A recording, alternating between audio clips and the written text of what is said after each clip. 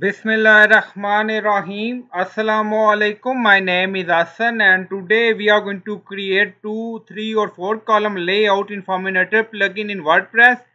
Before starting work, it's my request please subscribe my channel. Thank you. Now back to our work. So we are using Forminator form. Now go to edit form.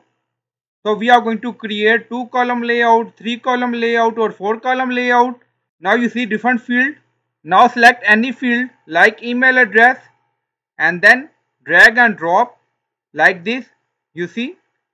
Now this is two column layout. Now click on update. Now form save done. Go to page and refresh the page.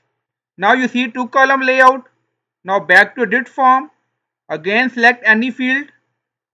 And then now you see highlight section and then drop. Now you see three column layout and then click on update. Now form save done Go to form page and refresh the page. Now you see three column layout. Now we are going to create four column layout. Same way back to edit form. Now you see subject text field. Now drag and drop like this. Now you see and then click on update. Now form save done. Go to form page and refresh the page. Now you see four column layout in Forminator form.